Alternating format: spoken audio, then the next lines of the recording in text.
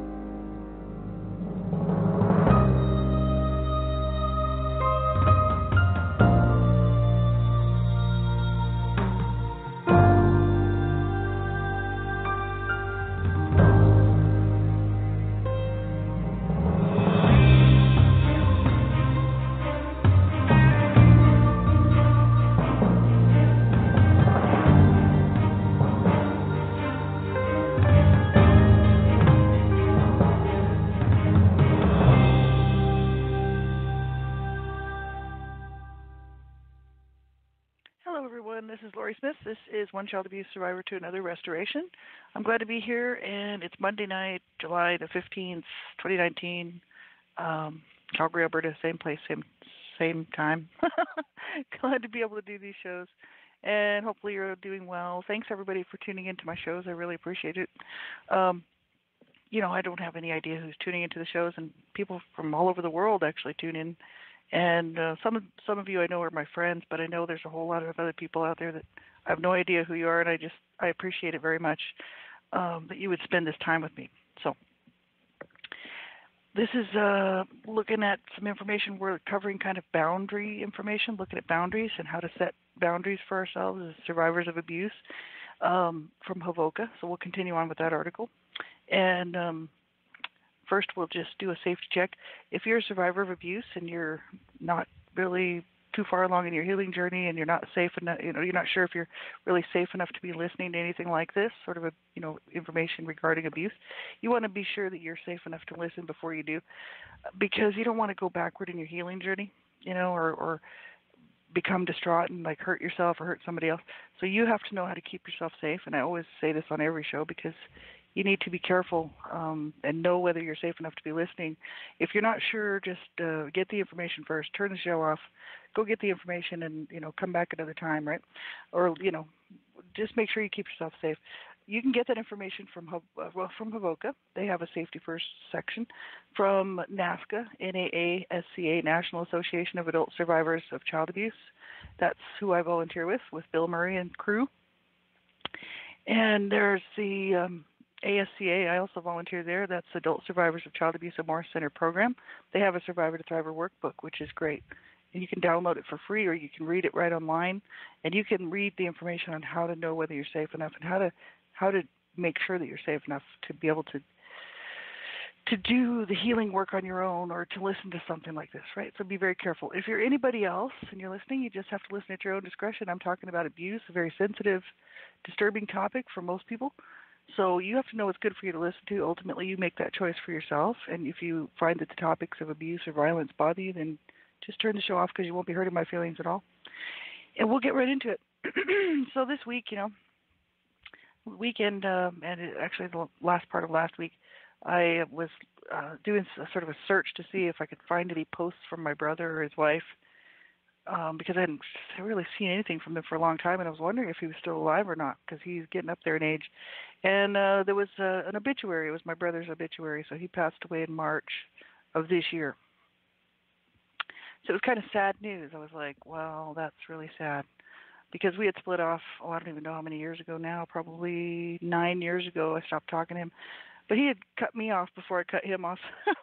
the family all blames me, saying that I that I cut him off, but actually he cut me off before I cut him off.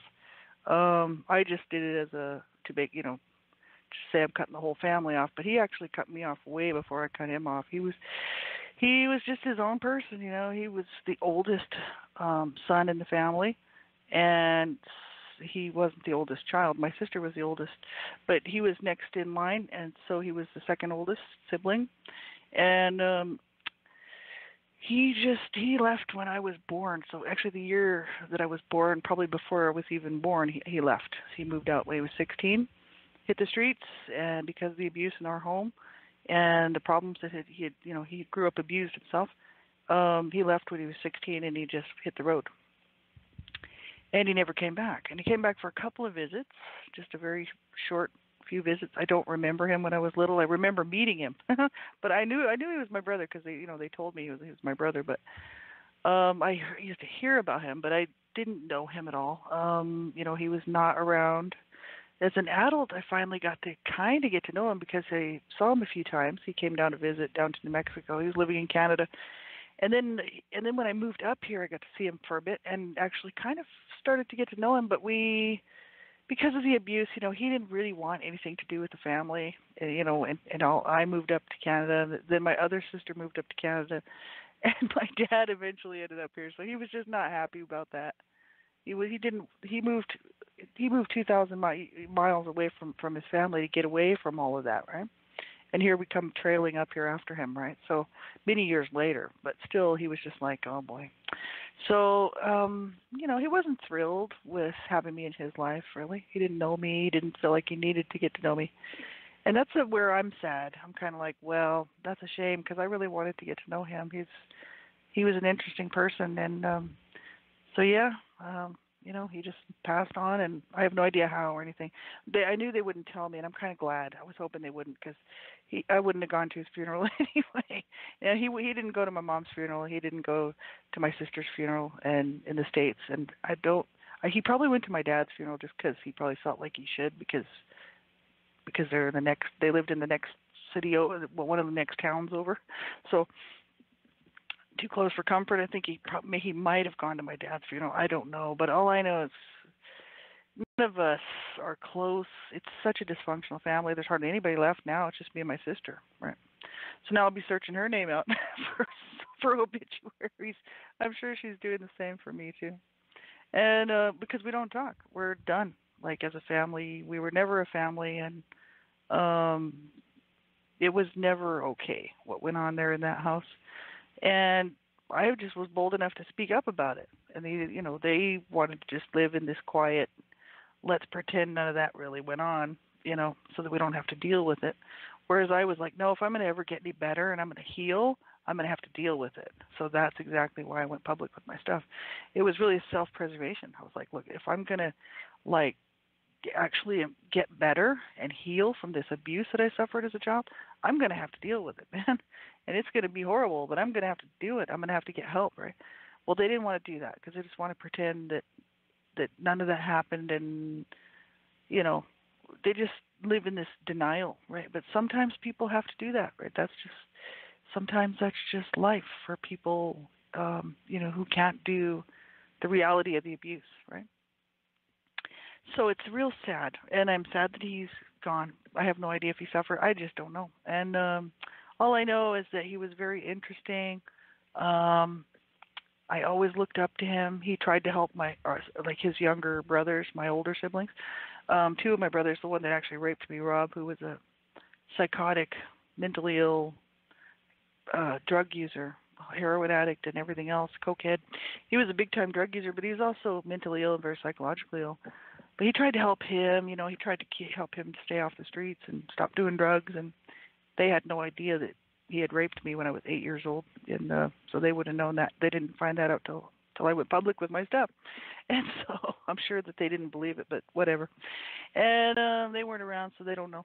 And my um other brother Howard, who was also a big time drug user, and always on the streets, he tried to help him too. So, you know, Kevin, my brother that just passed away, he was a good guy actually in the family. I wouldn't say he was he never did anything to me. Just made me angry as an adult because he kind of booted me out of his life, and I was grumpy about it. But then I booted him out, so it was mutual.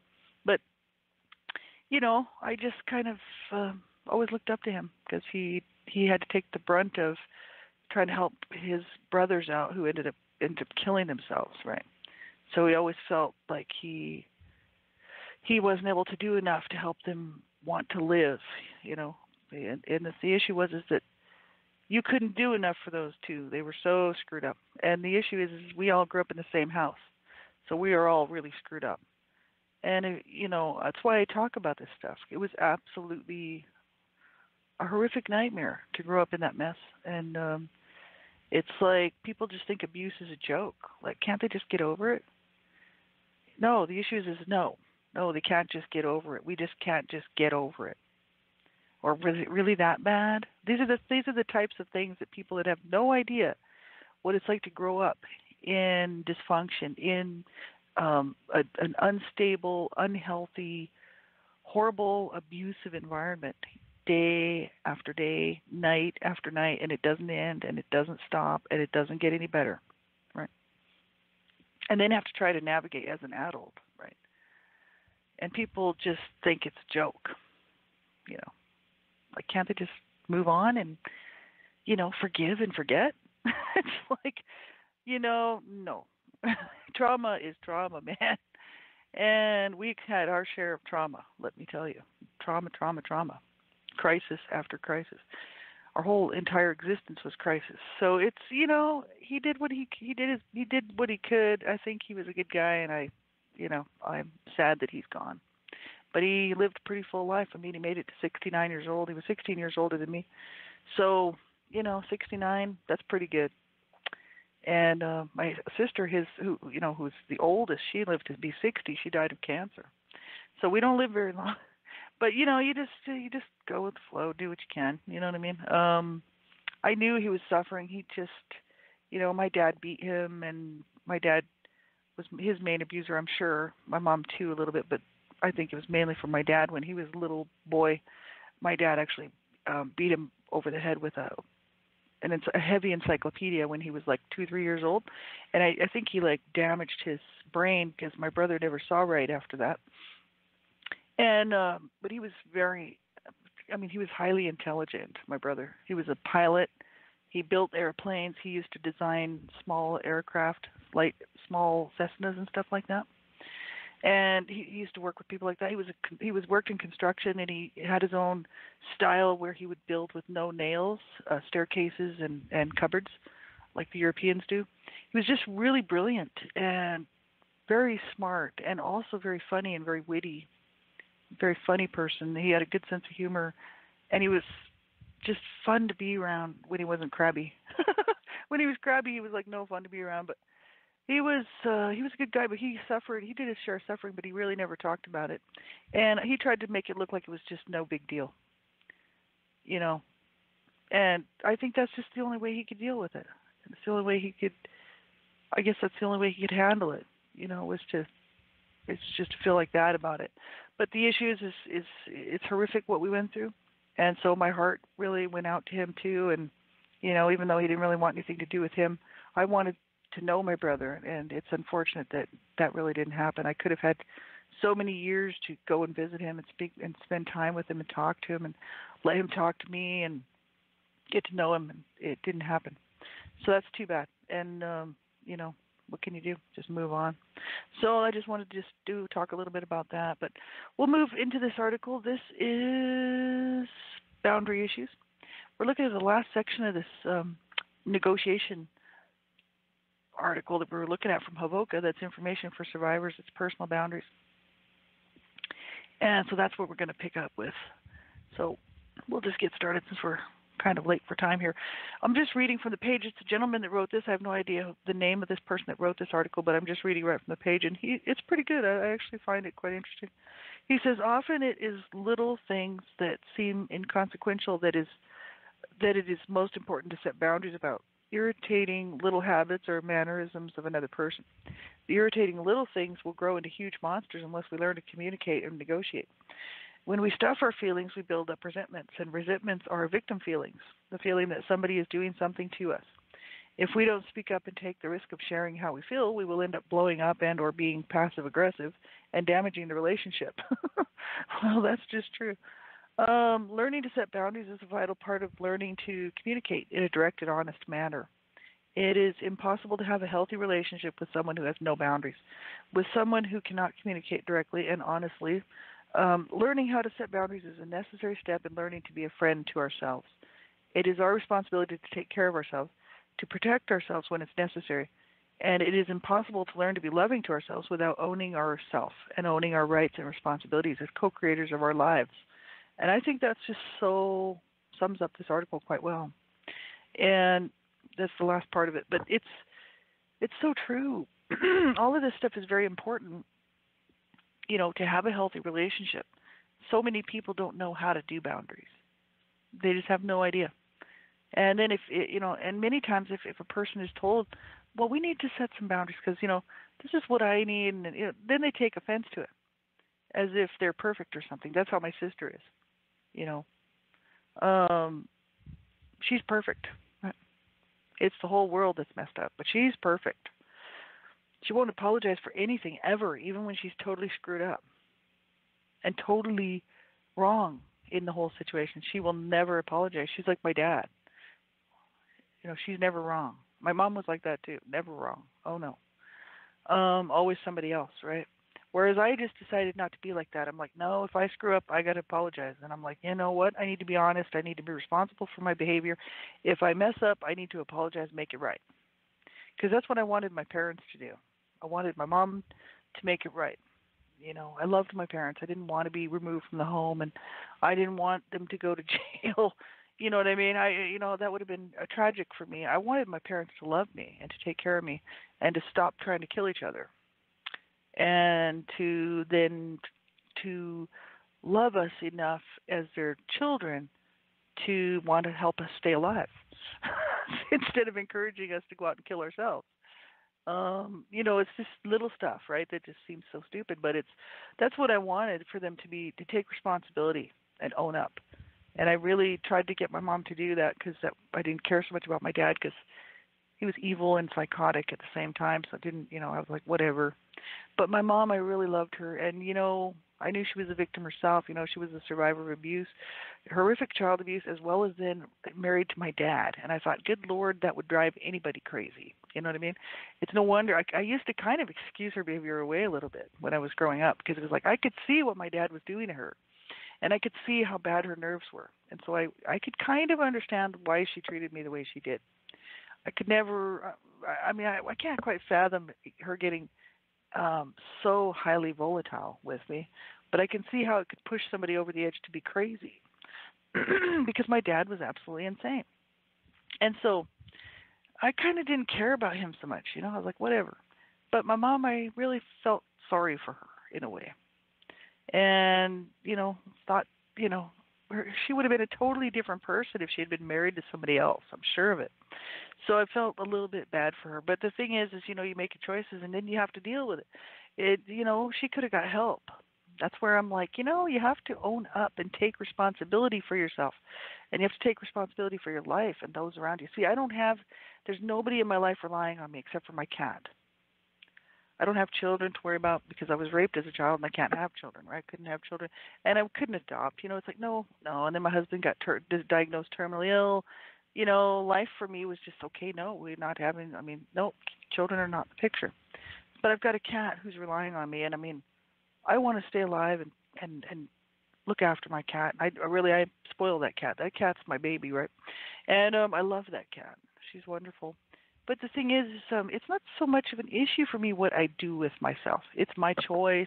I live my life the way that I do as long as I'm not hurting people around me. I should have the right to make my own decisions on how I'm going to live my life. Truthfully, if I'm not hurting anybody, I can eat pizza every night of the week if I want to and sit around and I don't have to do anything if I don't want to because nobody's really relying on me. Um, but when you have like a whole brood of seven children, you know, and you need to make the right choices right and my parents really they showed us how much they didn't care by not making those choices that they needed to make especially when when the, the child protective child protective services got involved my parents were busted and arrested on child abuse charges both of them and they were they had at that opportunity should have split. They should have split up, and they should whether they divorced or whatever. But they didn't want to do that. no, they just wanted to continue living this insane, absolutely crazy lifestyle. And it's like, you know, they just didn't think it out. And so as an adult, I see what they did and I'm like trying to learn from that. If we're like like what this guy is saying here is just so important. Like if if we don't take care of things in our relationships with people, they we end up we we we either blow up and become aggressive ourselves, you know, or become irate or whatever it is and ruin the relationship that way, or we become passive aggressive, you know, and then damage the relationship that way. And so my sister's passive aggressive. I'm the blow up. You know, I'm the one that waits until my until the the exceeded levels, the stress levels, I just can't deal with it anymore, and I blow up. My sister's passive aggressive, so that's you know that's just people just handle things differently, right? And um, you know, for me, I'll just take it and take it and take it until the one day I'm like, okay, that's it. I'm gonna explode or I'm gonna leave because I don't want to hurt somebody. Generally, that's what it is. But uh, I'm serious because I don't want to be my parents. You know what I mean? Um, it's it, we have to learn how to do this stuff. There's this next section of this article is really interesting because it actually talks about it. If you go to Havoca, www.havoca, havoca.org, under their survivors tab, under the personal boundaries tab, go to negotiation, and then next. And that actually really sort of spells it out how to do it, how to do these things, and for ourselves. Because, like you say, if we're going to ever learn to be a friend to ourselves, you know, we need to set boundaries. We need to learn how to set boundaries because we need to make sure that we, as a co-creator of our of our lives, that we're owning our rights and responsibilities, you know, and taking ownership and taking the responsibility on to do the right things for ourselves and then to do the right things for other people you know, if everybody was doing that, there wouldn't be abuse, right? But no, that's the thing. People don't want to do that. They don't want to take care of themselves, and they also don't want to take care of somebody else. They just want to be able to just do whatever they want, and it doesn't matter if they hurt somebody, and they're never going to apologize, and they're never going to change. That's abuse. That's what that's that's abuse and um, irresponsibility, right? It's basically what that is. So it's kind of like, well, you know, coming from abuse and growing up in abuse because I didn't ever have a normal day um, apart from the abuse, you know what I mean, except for when I was sleeping over at a friend's house, you know what I mean, or something like that, or crashing on somebody's couch, and I might have experienced a good day at that point. But if I was in the house with my parents, which was year after year after year after year, I was part of their game, their crazy, insane drama crisis trauma filled evil game that they played and it was you know that's how they live their lives and it's like so then me as an adult coming out of that i realized how screwed up i was. But i used to watch little house on the prairie a lot so i got a lot of good advice from little house on the prairie on how to be nice to people and what it is to like be loving and kind and and i had some good friends you know that would help me out that helped me out along the way. That made a big difference. And so you know i've come i want to be good to people and i want people to be good to me. So you know i have to learn how to stand up for myself. I have to learn how to to state my needs and i still have issues with that today. Because i feel like well i feel like if i do state my needs it's going to cause problems because it does. Most people don't care and that's a fact. Even people that you think care you know will cringe if you start stating your needs because they're like oh you know nope. Uh, people just don't want to take responsibility for their behavior really is what it is. It's unfortunate but true. So this next section that we're going to look at that's help sheet we'll look at um, next week. And how many minutes do we have left here? Oh about five minutes.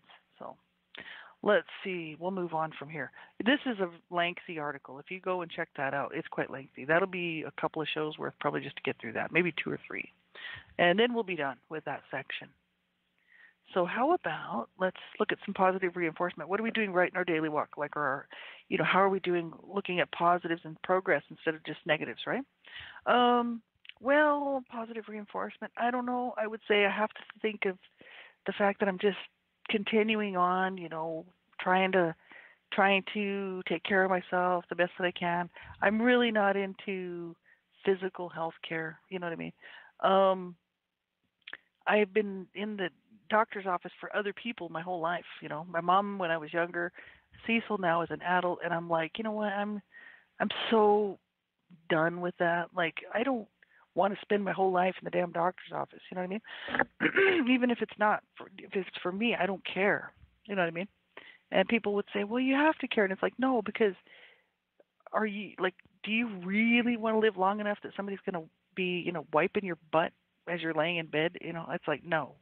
You know what I mean? Like for me, that's not what I want. I'm not looking for longevity. I really don't care. Uh, what I want is peace peace in my heart, peace in my mind, peace in my life. That's what I've got. Because I don't have a lot of people pushing and prodding and digging into my cavities and you know, I was abused as a child. Like sexually, physically. I don't want people touching me in the first place unless I say it's okay. You know what I mean? I don't want that control taken away from me. So I don't want some doctor digging around. You know what I mean? It's like I've already had all of the checkups. I'm an older, older lady. You know, in a few years I'm going to hit 60. So it's like, you know, really, five years goes fast. And I mean, two or three after that, I'm 60, right? I don't even know if I'm going to live to be 60. I don't care. You know what I mean? But that doesn't mean that I don't try to get enough sleep because I do. I always try to get enough sleep. I drink a, I drink plenty of water during the day. Um, I eat healthy. I'm a little bit overweight because I just don't do any, uh, any activity and I kind of eat a little bit too much. So, you know, I'm a little chubby, kind of chunky, but I'm not too obese. I wouldn't even say that I'm nearly obese. I'm not obese at all. I'm just a little kind of, you know, heavy around the middle because I don't do anything, right? But uh I eat healthy and I'm you know, I kind of do that sort of stuff. So I don't really feel the need to be running to the doctor all the time. You know what I mean? Um I'm happy not going to the doctor. It makes me happy to not go. What what brings me and causes me distress is having to go to the doctor.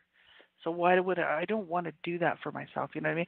So I'm not talking about that kind of stuff as far as um becoming a health nut. I'm not into health whatsoever. I'm into my spiritual spiritual health. That's what's more interesting to me because I'm going to live on for eternity here. So I want to make sure I'm in the, the proper spiritual um, frame when I leave. You know what I mean? And that's my main goal. Um, but you know, everybody's different. And like I said, I don't have anybody that's relying on me to be here. Like if I had children or grandchildren or something, it's a little different story, right? It's just me. When I go, I'm gonna have to hire somebody to like do my funeral. I don't even want a funeral, like whatever. Nobody would show up. I'm talking about like my cremation for my remains. Somebody's gonna have to hire, like, pay for somebody to do this for me because there's gonna be nobody to take care of me. The government's gonna have to do it, right? um I'm on my own.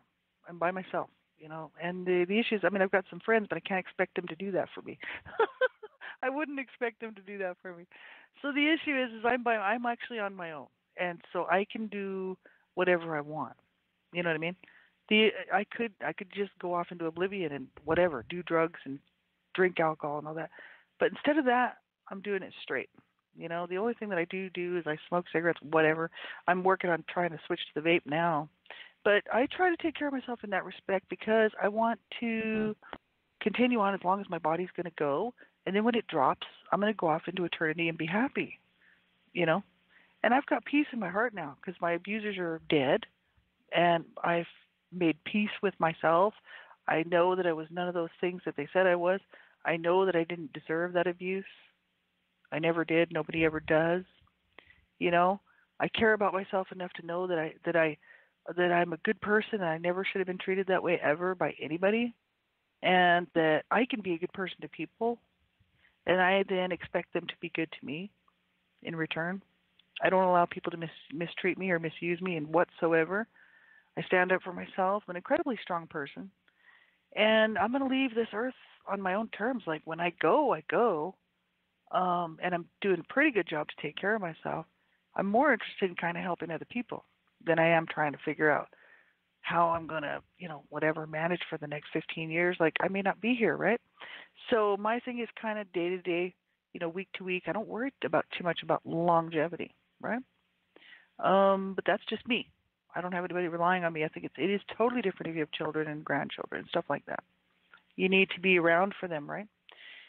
for me, I'm kind of like, well, it's just me, and so whatever, and my cat, right? So, and I do try to take really good care of her. She's really sweet, and um, but we'll pick up the rest of this article next next week, next time. In the meantime, I've got about I don't know, 10 seconds. That's it. So, you guys, it didn't give me the warning that I was done. So I'm not sure if it's even streaming. So hopefully you guys have a great night. Take care of yourselves. You know, like I say on all my shows, if you're struggling and you can't cope, you call a crisis line, you call somebody, but make sure you reach out and you get some help, right? Because there's people out there that do care. Believe it or not, there are. And you just have to reach out and you have to find them.